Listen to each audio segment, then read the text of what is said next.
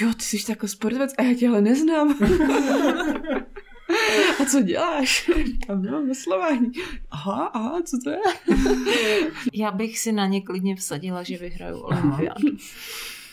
Co trenéry? Třeba slyšete trenér? Jak Ty vás trenéři kolikrát udělají atmosféru jako celá tribuna.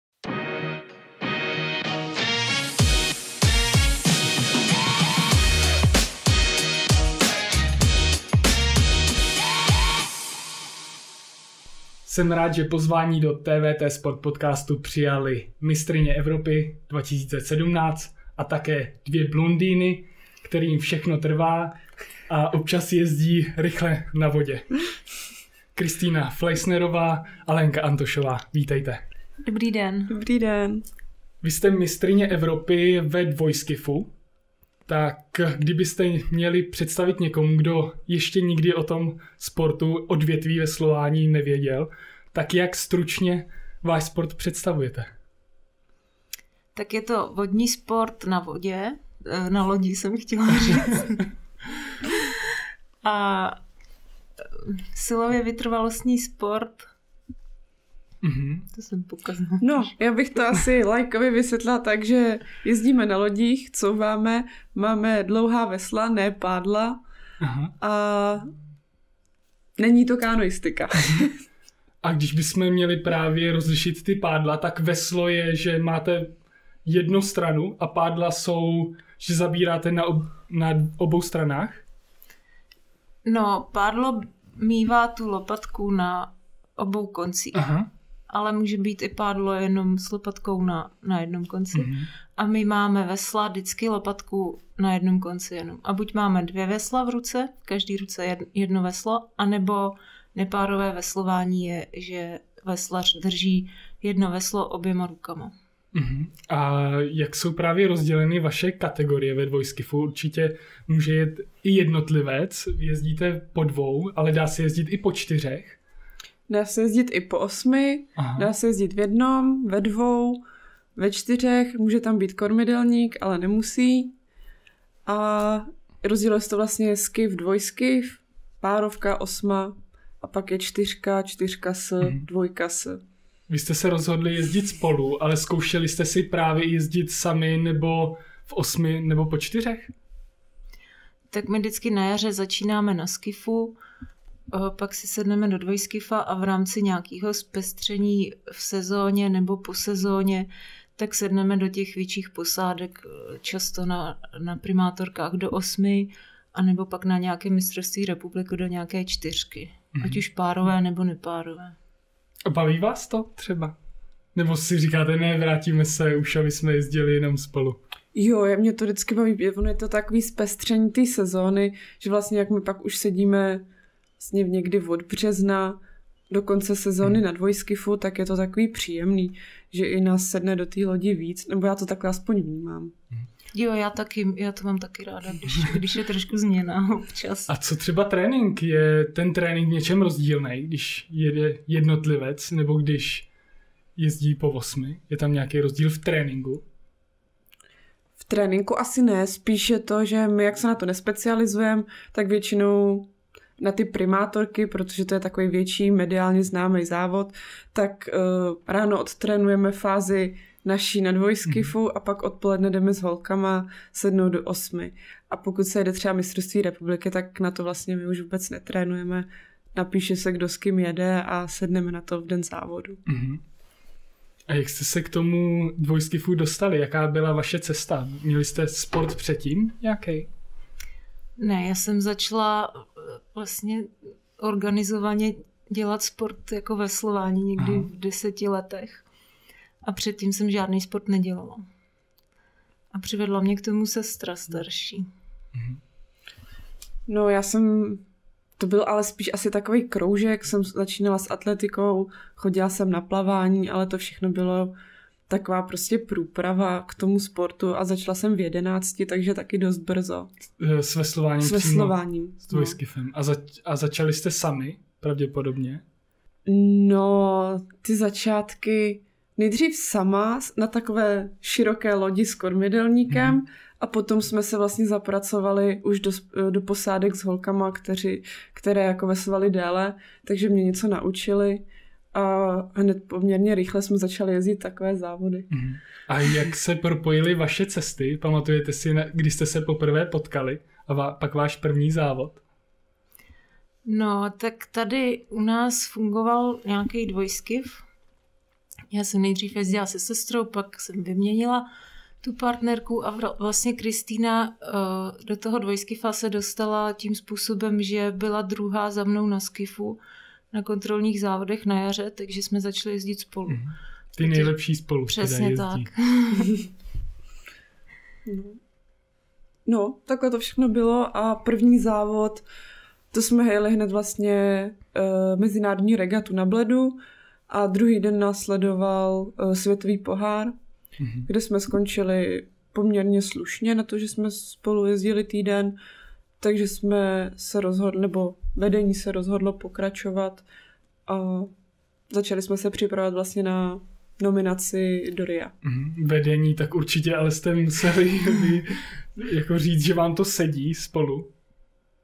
Nebo jo, kdyby... jo, to, to, to určitě. Dáváte si třeba v lodi nějaký pokyny? Máte na to prostor? Já jsem právě slyšel, že rozhodně tam není prostor na dlouhé věty motivační během závodu.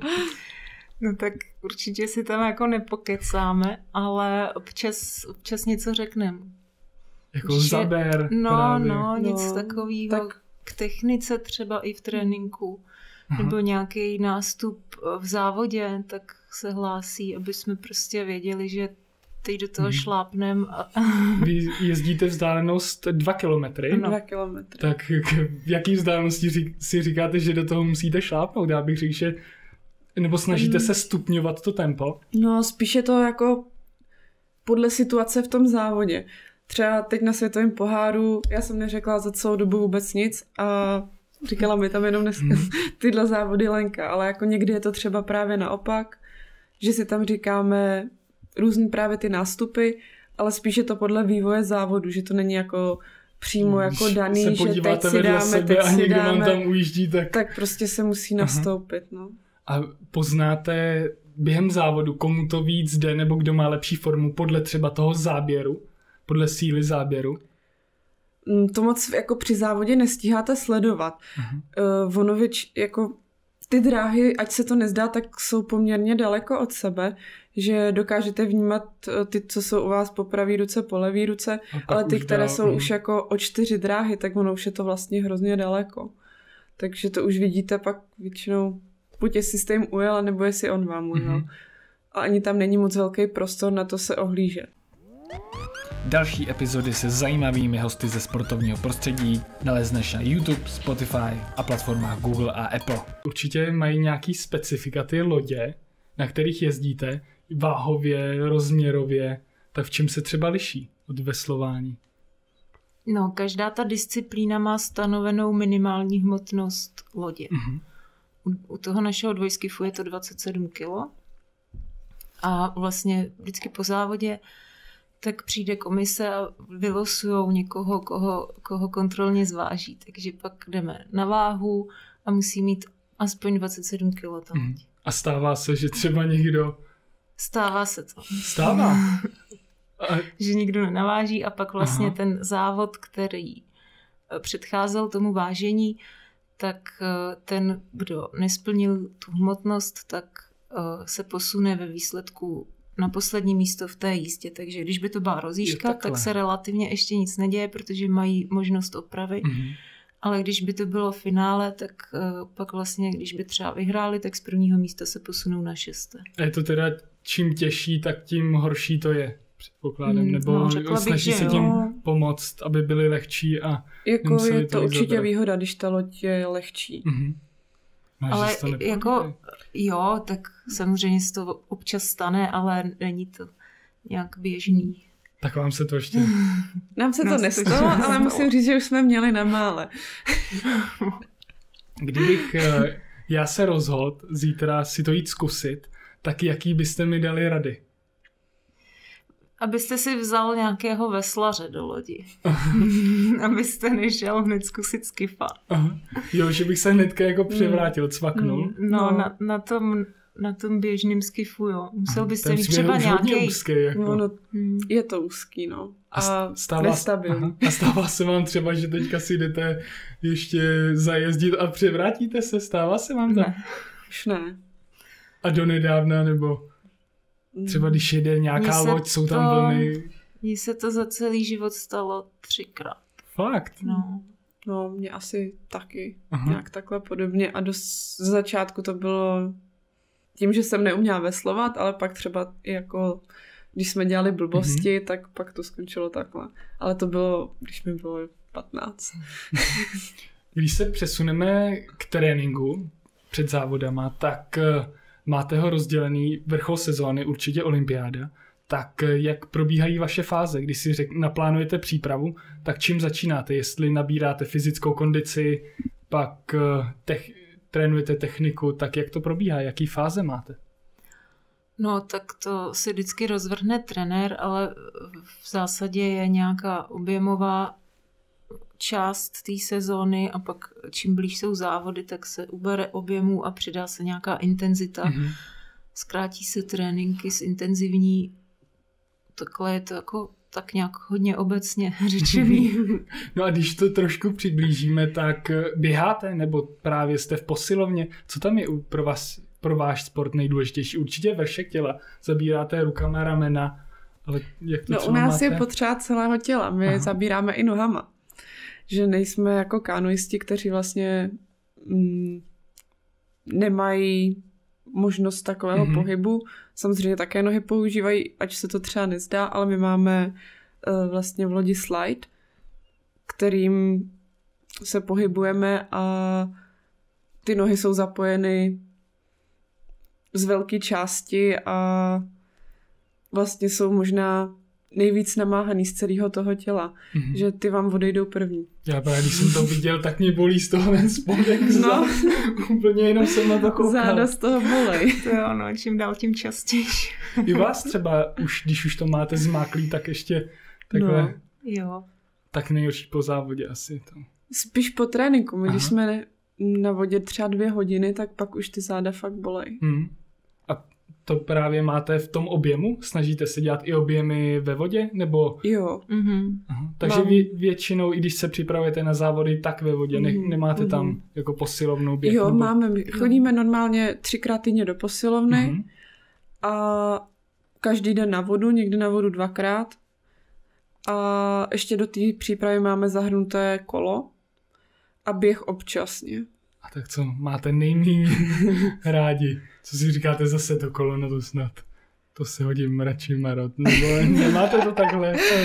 Uh, to ne, jako občas se mi nechce, ale, ale není to, že bych občas? to měla vyloženě neoblíbený. To spíš, když by mě někdo nutil jít plavat do bazénu po ránu, tak to, to, to fakt nemám oblíbený. To, to jsem zažila jednu zimu a už bych to zažít nechtěla.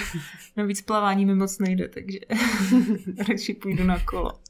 Když se posuneme ve vaší přípravě dál právě do té technické části, tak co je nejdůležitější, jak právě, abyste se synchronizovali ty záběry? Určitě je velmi důležitá synchronizace, jak nad vodou i pod vodou. Mm-hmm. A e, technika má velk, velký díl vlastně jako mm-hmm. na tom pojetí toho veslařského tempa. Takže je důležitá a pilujeme ji vlastně celoročně. Um, i když třeba na vodě nejsme, tak jezdíme na trenažérech a i tam se s tou technikou něco dá dělat. Mm. Že třeba je tam i větší prostor na to, že trenér vás vidí zblízka, což když jede na člunu, tak na vodě nevidí. Takže určitě se s technikou dá pracovat i na trenažéře. A pak to třeba máte i nějaký video rozbory, kdy si to rozebíráte? Nebo... Míváme, no, občas Aha. něco trenér to natočí. A... to bývá.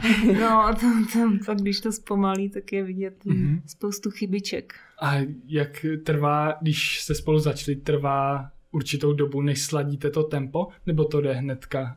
Je to vlastně rutina, abyste zabírali úplně stejně. Jak tohle tam je? Tak asi to chvilku trvá, ale eh, je to takový přizpůsobování se jedna druhé a myslím si, že procházíme neustále takovým vývojem, že když, když bych se podívala na video starý, naše nějaký pět let starý, tak třeba nepojedeme rozdílně, ale eh, jako by jedna vůči druhý, ale ta naše technika už je trošičku jiná dneska. Mm-hmm.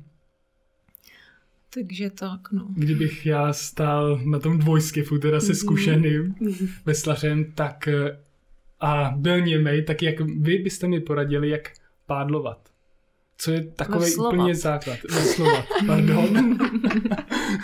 tak jak bych měl správně veslovat? Tak já nevím, jestli jsem někdy někoho učila veslovat. Jo, učila. No, je důležitý chytnout ty vesla úplně na konci a mhm. tlačit je do té havlinky, protože když to veslo povyjede směrem jakoby dovnitř, tak to je špatný a ztrácíte stabilitu. Takže mm-hmm. tlačit vesla takhle ven. Jo, takže jakmile no, je loď začal... trošku rozkejvaná, tak už ztrácím rychlost. Mm-hmm. No, mm-hmm. no. Ztrácíte rychlost, loď vám začne zatáčet a asi nejdůležitější rada je nikdy nepouštět vesla. Jakmile Aha. se pustí vesla, tak se právě můžete spadnout do vody. Je velká pravděpodobnost, když ty vesla udržíte, že tam mm-hmm. nespadnete. Byli jste někdy na závodech, kde se nějaká loď převrátila? Jo. Mm-hmm. Stává. Výjimečně se to stane i třeba na světovém poháru. Nebo...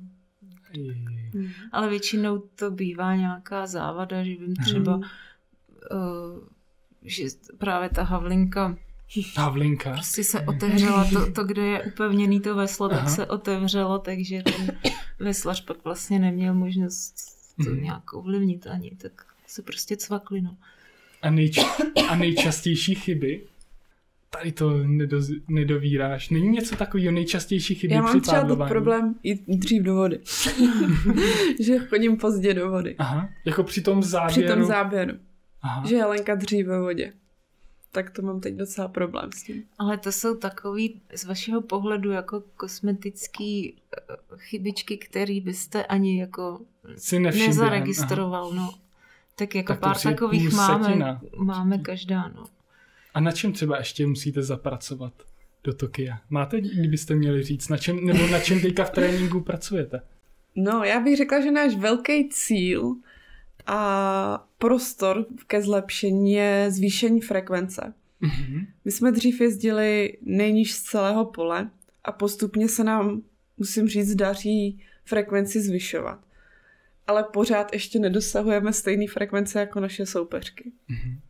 To je pravda. No. Můžete třeba říct, kolik, te, kolik záběrů uděláte během závodu? Nebo kolik jste udělali na začátku?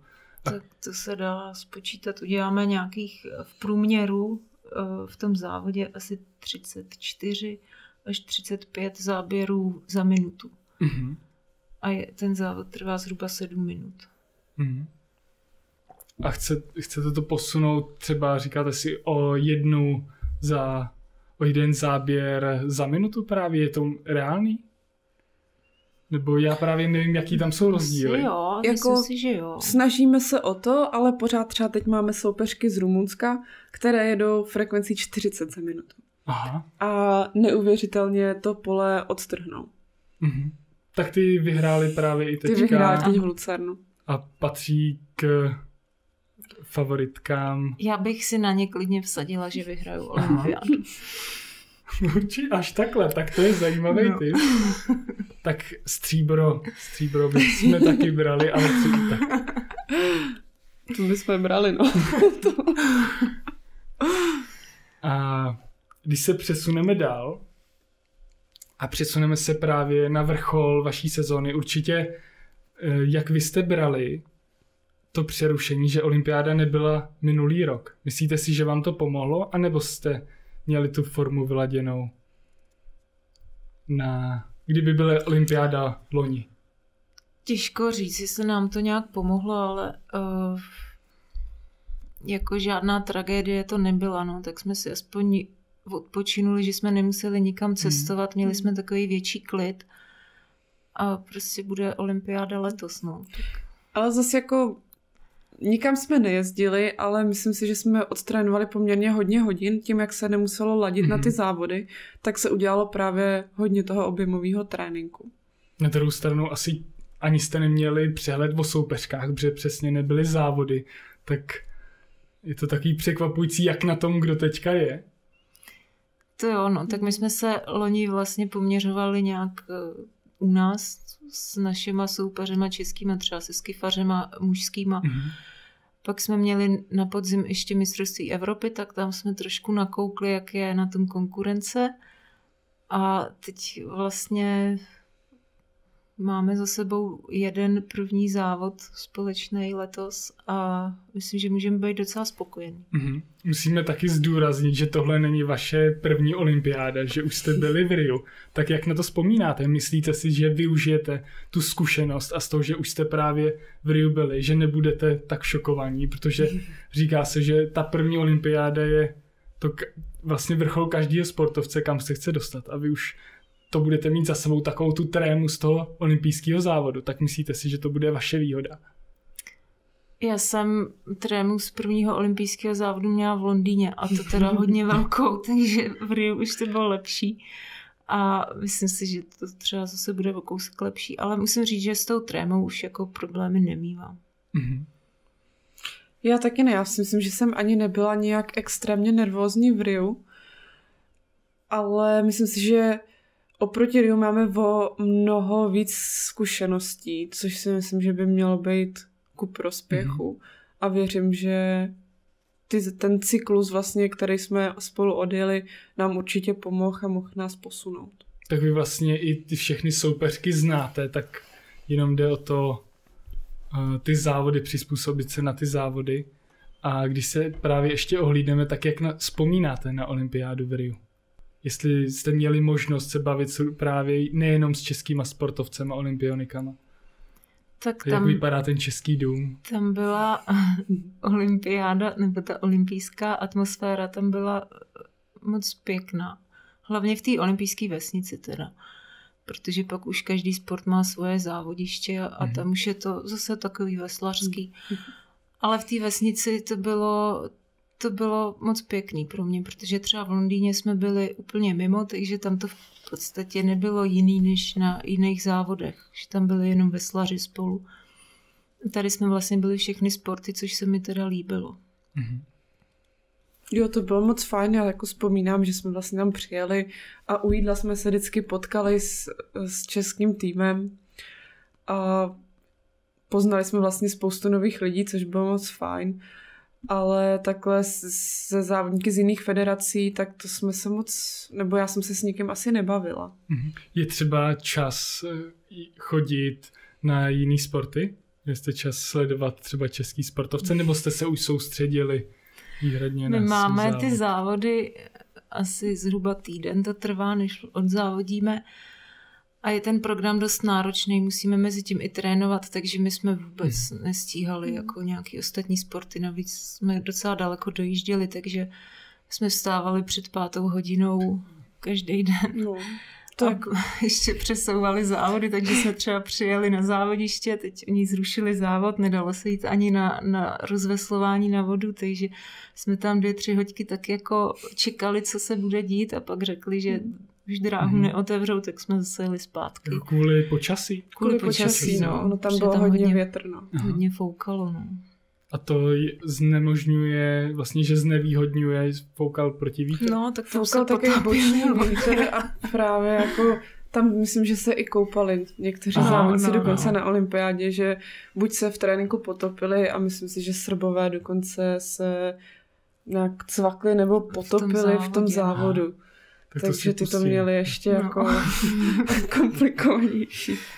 Koukal jsem, jak jste aktivní na sociálních sítích, tak eh, určitě to v dnešní době patří a k popularizaci sportu, tak baví vás to, nebo to spíš máte, že to v uvozovkách musíte? Jak, jaký je váš postoj k sociálním sítím? Upřímně moc nejde. Tak. no, my tam hlavně jako moc aktivní nejsme. Já si a... myslím, že fanoušků máte dost právě, jo, který to no zajímá. A myslím si, že jako určitě nemusíme, asi to děláme tak Máme jako co zlepšovat. no. Asi to zase tak moc lidí nezaujme. žádný sponzory nemáme. no tak právě musím říct, že patříte Aha. pod Viktorii, Sokolský centrum. Tak aspoň... Tam máme výborný zázemí. Já už mm-hmm. jsem mhm. tam, můžu říct, spoustu let. A musím říct, že že máme opravdu skvělý zázemí celý ty roky a že se to furt zlepšuje a zlepšuje. Mm. A myslím si, že si nemůžeme vůbec stěžovat. Mm. A v čem to třeba spočívá? Jak vám vychází vstříc nebo jak to funguje, ta spolupráce s Viktorií? No vlastně jako Viktorie je náš zaměstnavatel.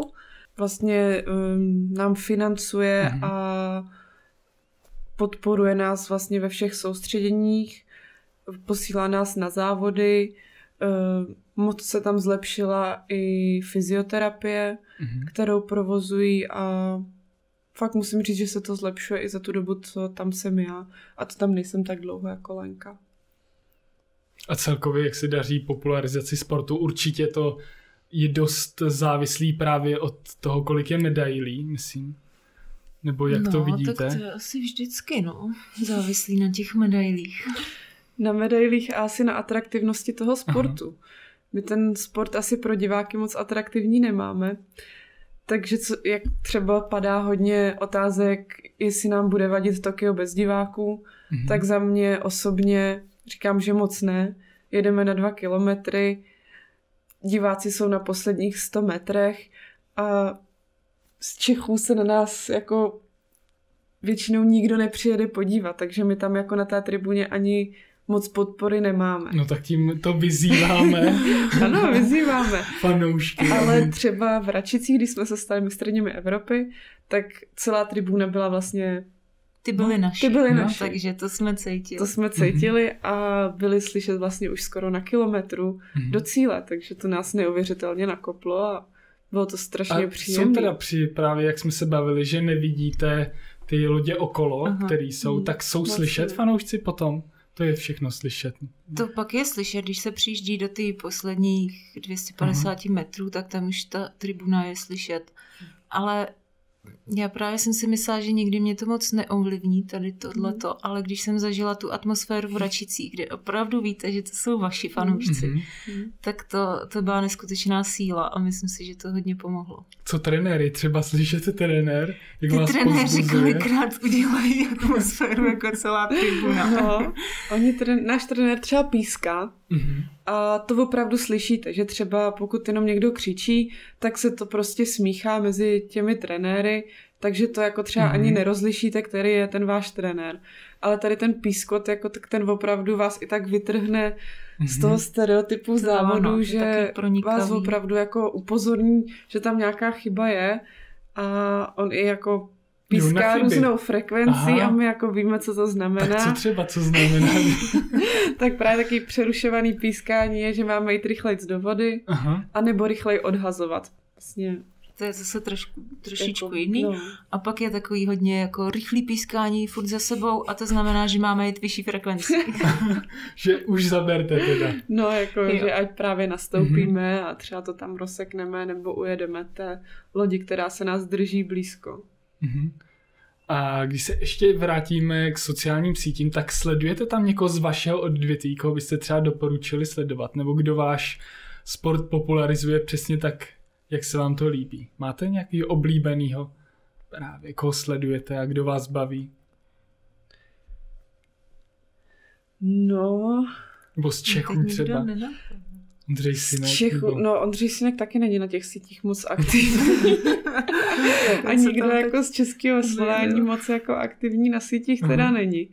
Z vedlejšího odvětví je hodně aktivní uh, Pepa Dostal a Martin Fuxa, uh-huh.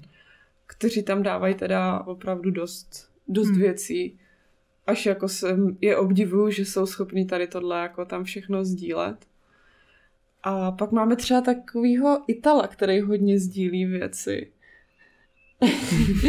ale, ale nemůžu říct, že by to bylo pro mě jako inspirativní. Aha. Je, že už to je jako too much. Jo, jako too much.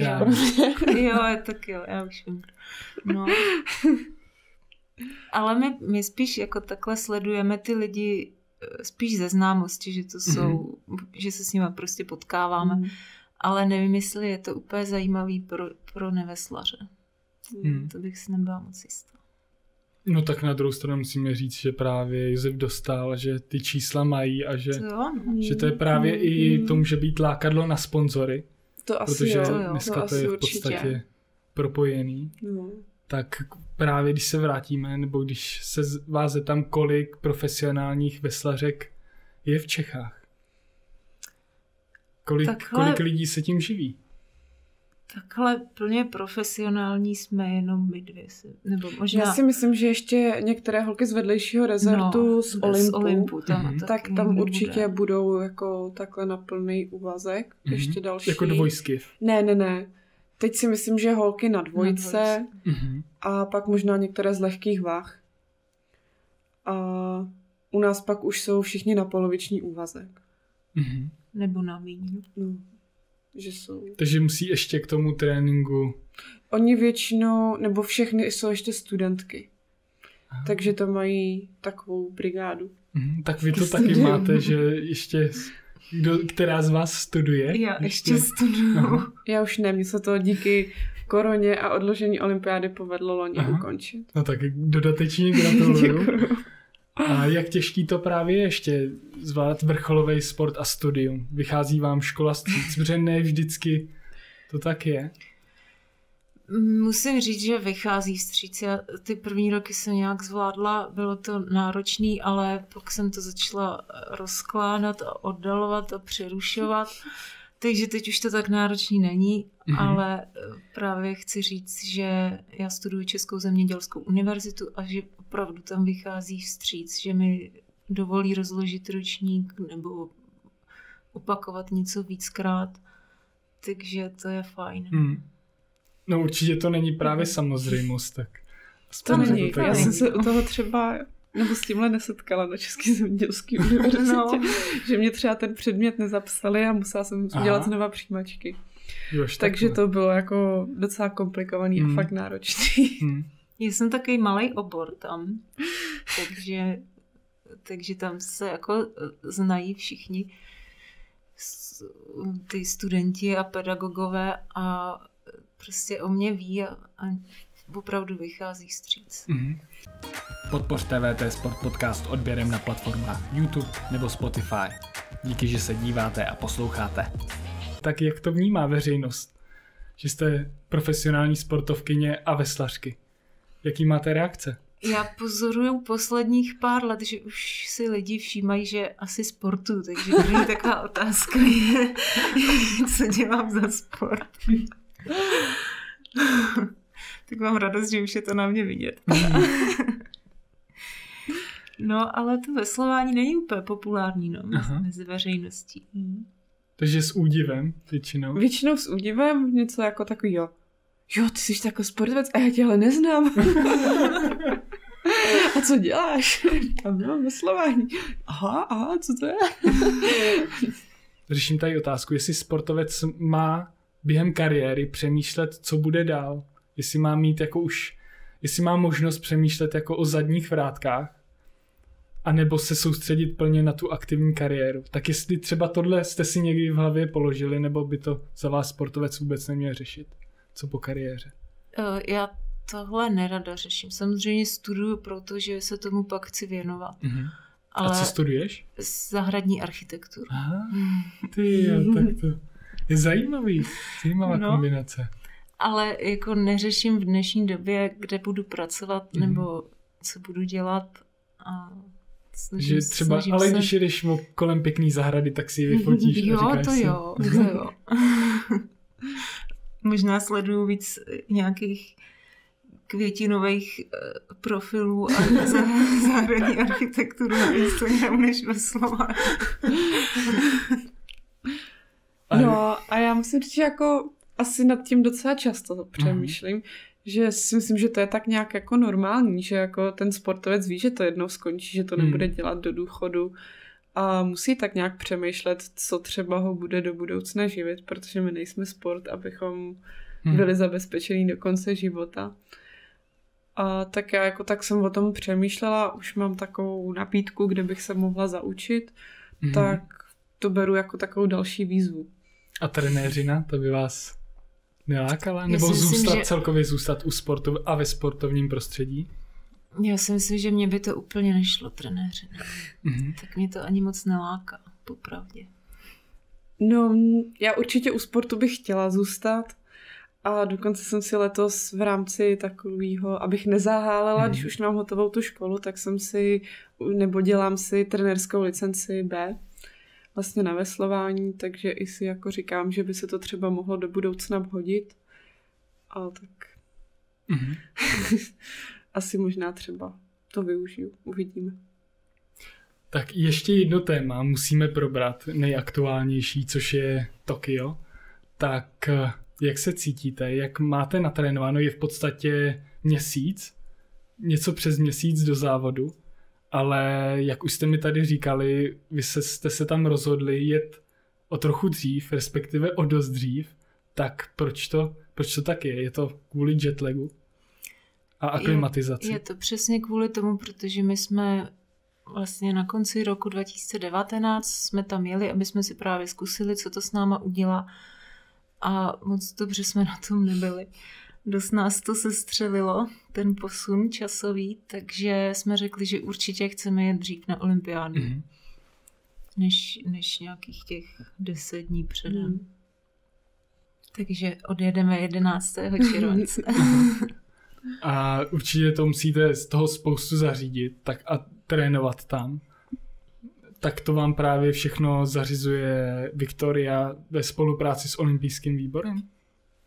No. Jo, spíš bych řekla přímo ten prekemp, tak spíš eh, Český olympijský výbor ve spolupráci mm-hmm. s Viktorií a s Veslařským svazem a myslím si, že už je tam všechno zařízené. Jako nezjišťovala jsem podrobnosti, ale letenky už máme a myslím, že všechno ostatní je taky zařízené. Mm. Ještě tam musíme teda dopravit loď. No.